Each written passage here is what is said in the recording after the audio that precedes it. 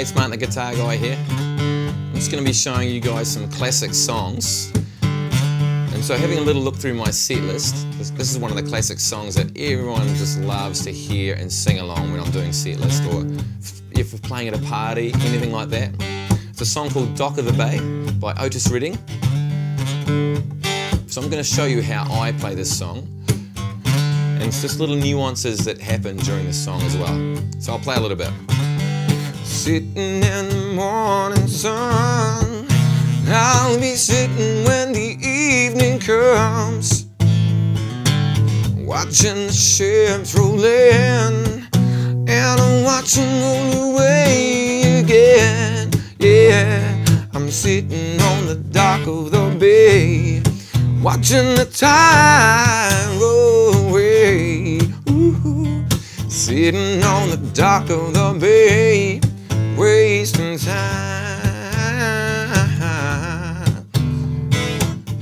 etc. So you get the idea of what's happening there anyway. Um, there's more to the song, but there's some cool things that I'm doing uh, that might be fun for you to learn in behind what's happening, okay? So we're gonna start with the left hand and what's happening there, and then we'll break down what's happening with the right hand, and it'll all make sense in the end. So the intro, I'm basing it on a G chord, so I'm doing my classic G shape here. I'm basing it on there, but then I'm doing this on the intro. See my first finger's not doing much. I'm lifting that and I'm muting the string below that. As I get lazier with guitar, which I've definitely done, I've found ways of getting chords and making them sound cool without actually using many fingers. Just gotten really lazy to be honest. Technically that's the exact G I should be doing, but I like to just change things up a little bit and that keeps my finger free to do this next little bit, which is that this little this little riff here, which is first finger.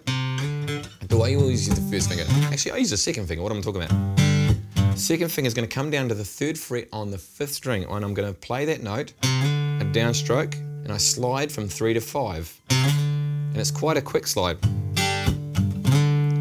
Really quick. So it's almost it's so quick it's almost unrecognizable. Okay, it's a real quick slide. And then I play an upstroke of the string, which is the same note of the string below that, which is a D note, which is the zero? Okay.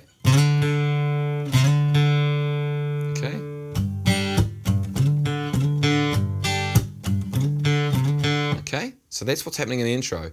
Now, let's break it down for the other hand, okay? So for the right hand, I'm doing mostly downstrokes for this groove, okay? And the groove is what it's all about. You know my stuff, then you'll know I, am always on about the right hand because that's where the feeling comes from. The left hand plays us the notes and gives us the noises we want. The right hand makes it give it that emotion and the feel we want. So the right hand, we're going to be doing downstrokes, or it's like a down, up, down, up thing. Okay, to start with, I'm doing, just, that's probably a good way to start just to get that grounded. Just using that G chord I had in the left hand, we're going to be going a downstroke on the top string of the, of the G chord, and I'm muting. I'm coming down and muting that. Go and check out my videos on muting if you don't know what that's about. And we're going to do an upstroke on the bottom strings, just maybe either two or three strings as an upstroke. And that's not muted, that's just an upstroke, so there is no muting. It's very hard to mute an upstroke and make it sound cool anyway. So just, and then I'm slapping the guitar afterwards. And I'm doing an up, another upstroke. So the downstrokes are all muted.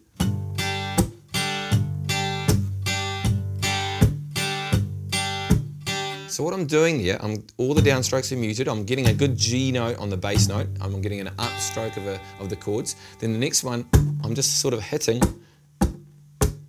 the strings, but not really getting much out of it. I'm just getting more of a mute, and then another upstroke, which gives us that slap, uh, that gives you that snare drum feel.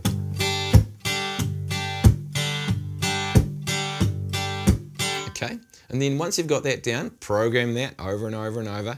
Once you've got that really solid, we add in the, which is simply, you've seen the left hand, the right hand just goes down, up, down, up. And I'm picking the fifth string, fourth string, fifth string, fourth string. And in that rhythm, down, um, so I'm just going, okay? And then quickly getting back to the G again, so.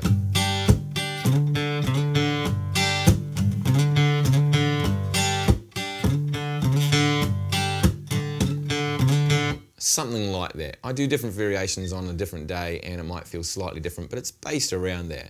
So that's that part. From then on, we're just doing the chords. So let's go through, look at the left hand now and look at all the chords that we're doing. So we're going from a G chord to a B7 to a C.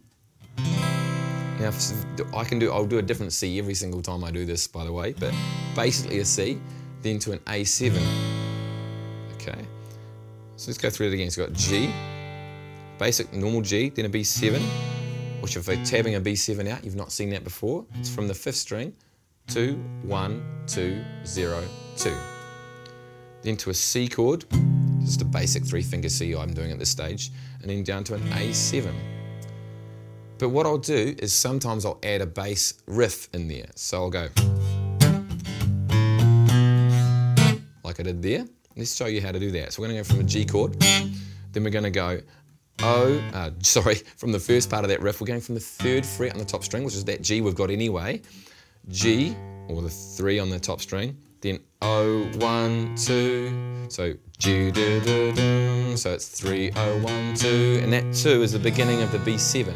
Quite a bluesy um, way to get to the B7, as opposed to just going G, still cool, but it's just Okay, And I'm keeping, and the right hand, we'll come back to that in a second, but the right hand's keeping that groove going. So that's how I do that going into the, to the B7. Then we've got a C chord. then I lead my way back down to an A7.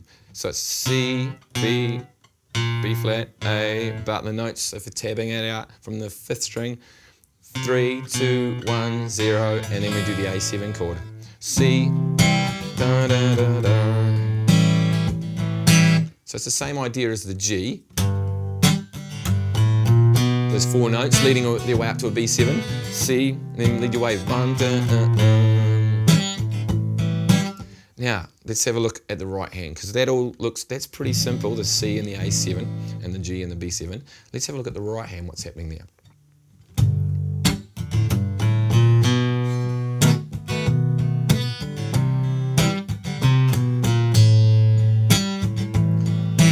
For those people out there that follow my channel or follow my stuff on jamorama.com, you will know about TikToking really well, hopefully, and have a great foundation in that.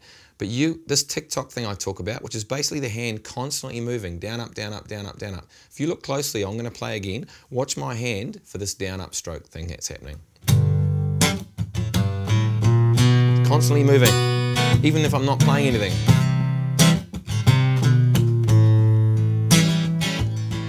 Even to the stage where I don't play any chord, I'm just going, I mean, I'm just doing that in amongst the chords. Hear that?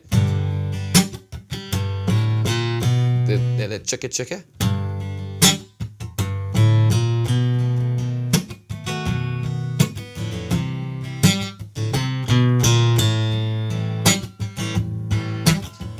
The natural tendency to do anything I'm teaching for any student sitting there, and I guarantee you're doing this, you're trying to look at my left hand to see what cool things I'm doing with the left hand down on the frets. But it's all happening in the right hand. I mean, most of it is happening in the right hand. This is where it's really important. G, do that little down, check it, check it. Then I'm just going through the riff, doing just the individual notes, then back to the, the groove. Then C.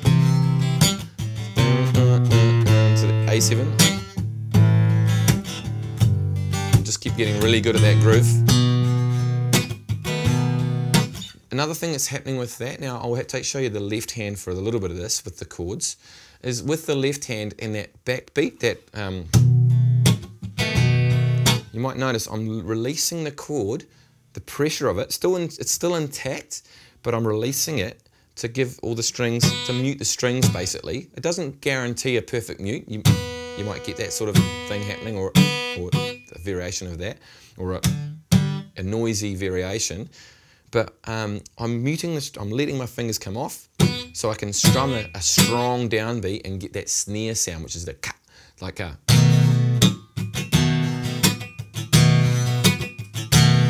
I'm just doing a B7 I'm getting a strong chord off, strong. That's really popular with a lot of songs, just to do that. So the first half, on, on, off, on, off. Even to the point where I flatten my fingers relaxed over the strings to mute the strings so I get the backbeat.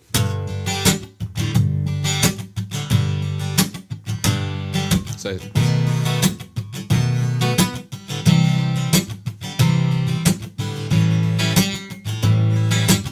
So the first half of the bar is on and then the rest is off. Real simple idea, but it's amazing what that'll do to your playing. So we got through the G, B7 to the C, C, then working our way down to an A7. And that's pretty much what we do for most, or for all of the verses. There's little things we can add to that as uh, nuances as well. Next part of that is the chorus. Now I do a G, but I release my first finger and my little finger from the G. So I have this kind of a drone G. So the way that's played would be three, mute on the next string, zero, zero, three. And then pretty much a mute at the bottom as well. So there's two strings that are muted, the fifth string and the first string. And I use my first finger and my little finger to do a little riff inside the chords So what I'm doing there,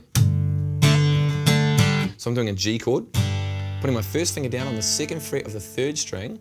I'm hammering on with my little finger, quite advanced. I'm strumming the whole chord, or aiming at least for that area,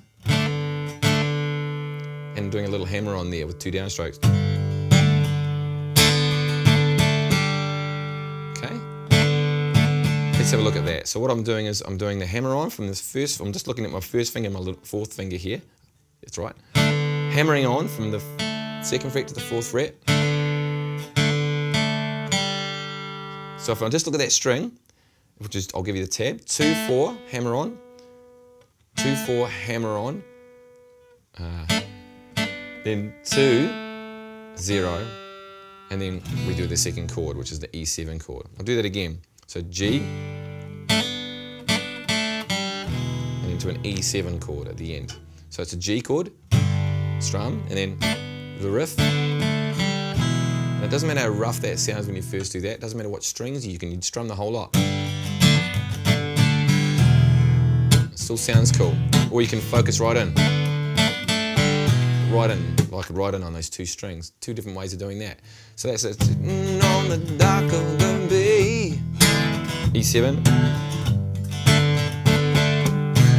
Repeat that or some variation of that. Then the last part we go to an A7, G to E7. So the chords for that are G to, to that E7, G E7 again. Slightly different in this one, G to A7, sitting on the dock of the bay, then G E7 again.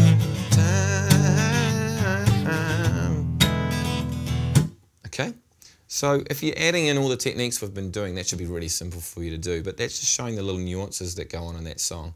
Uh, and so that's quite a big lesson, but um, it's a classic song. The groove is the most important thing for this song, keeping it laid back or, or keeping it uh, funky with that right hand, that that sort of thing is going to make people's heads bob all the way. You can't help it. Everyone's going to be doing this. Straight away, the cameraman was doing that. He's John's giving it this straight away when he hears that. So it's a good thing. It's a good thing when you're getting those heads bobbing and those feet tapping.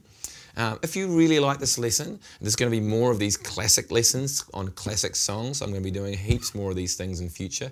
Instead of just being like one video every six months, we're going to be doing it every week. We're going to be making it a regular thing so you can have uh, some wicked songs in your repertoire.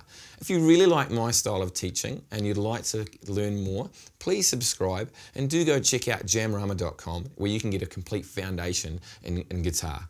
If, uh, I believe everyone should have a good foundation in guitar instead of just having little tiny bits here and there from different YouTube channels or whatever. It really does affect your confidence. So if you want to be a confident guitarist, go to jamorama.com. Also subscribe and I'll look forward to seeing you guys very shortly.